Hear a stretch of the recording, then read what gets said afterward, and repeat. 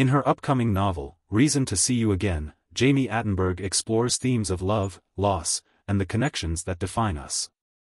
The story follows a character in navigating the complexities of relationships and the emotional landscapes that come with them. Attenberg's writing delves into the intricacies of human experience, capturing moments of joy and sorrow with poignant detail. This excerpt offers a glimpse into her thoughtful narrative style, showcasing her ability to evoke deep feelings through relatable characters.